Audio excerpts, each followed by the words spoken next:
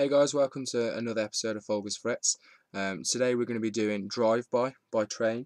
Um, it's been in the UK charts now for quite a while, and um, as soon as I heard it, I, you know, I really wanted to play it. So, um, going to teach you how to play it today, guys. Um, I'm going to be showing you two versions as as always.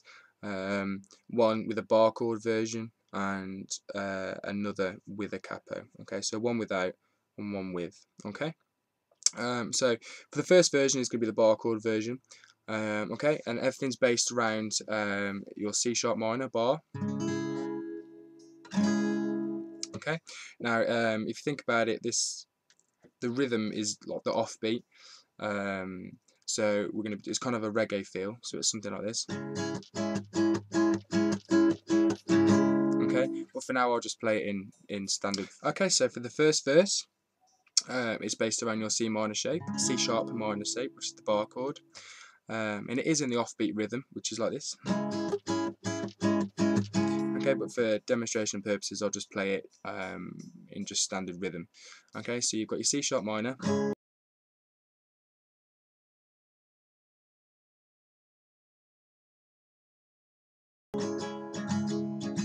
Okay then we go to A major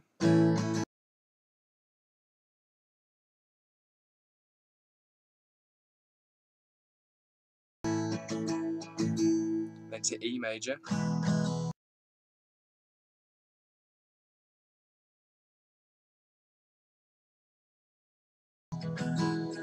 And then to B.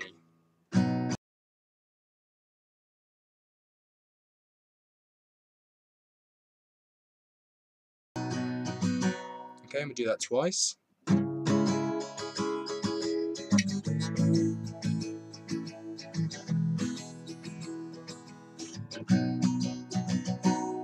Okay, um, and then the pre-chorus bit is where we go to F sharp minor, uh, which is like this.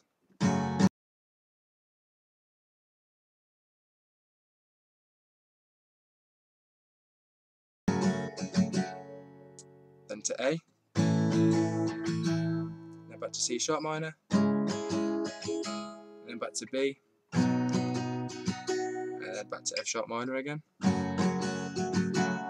to A, and then to A flat, bar chord, and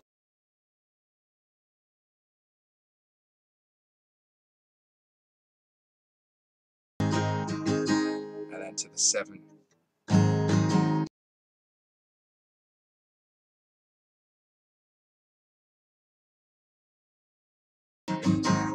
Okay, and then the chorus is E to B. To C sharp minor. To B, repeat.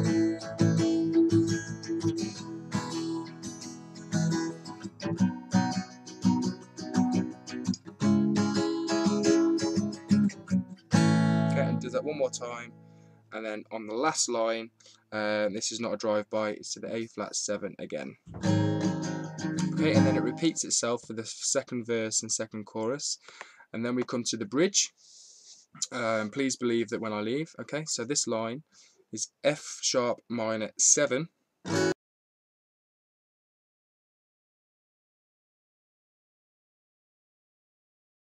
To C sharp minor. To A. To B. To A. To A flat. C sharp minor to B. Okay, and then it's back into the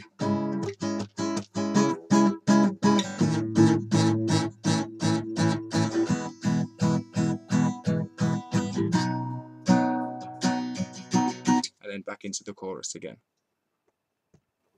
Okay then guys, that's it for the chord version really.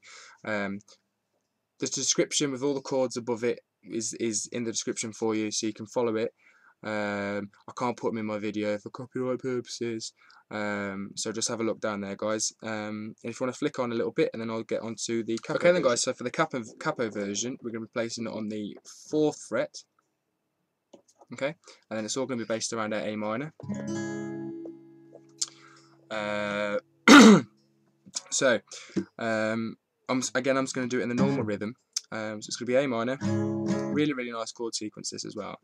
So it's A minor, and then we're going to go to F major. But when you play the F, release the E string, then to C, and then to G, and repeat.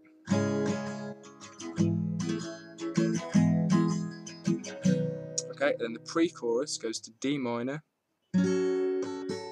back to F, back to A minor, back to G, and again D minor to F, and then to E major and E major 7. Okay, okay, and then from the chorus, uh, we've got F to C to G to A minor, G, repeat, F to C to G to A minor, G, and repeat again, F to C to G to A minor, G. So I hope that's okay for you guys with the two versions. Um, any problems, just drop me a comment or um, drop me a message. Don't forget to subscribe. Cheers guys, thank you very much. Bye bye.